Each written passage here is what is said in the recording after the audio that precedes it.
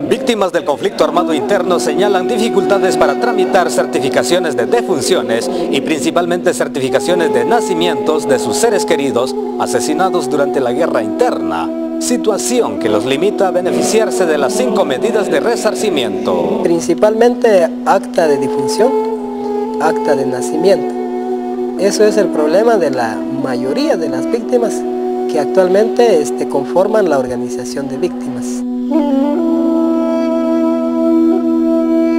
Pasa es que durante el conflicto armado, lo que es específicamente en varios lugares, fueron destruidos los, registros donde estaban eh, inscritas las personas.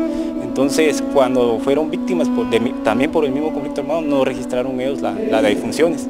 Significa que ahora es imposible encontrar ese certificado de nacimiento y, por ende la, la, defunción. De manera urgente se resuelva estos casos ya sea a través de una ley o que el Programa Nacional de Resarcimiento paga abogados para que entonces se resuelva. Otra de las preocupaciones es el escaso avance en la ejecución de las cinco medidas de resarcimiento.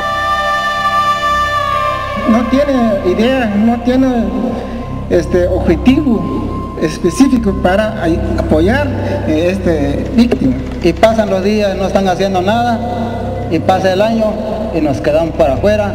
Pero para ellos fueron seguros los meses que fueron pagados, pero para nosotros nada. Este año se, le aprobaron únicamente 100 millones, pero esos 100 millones son en palabra.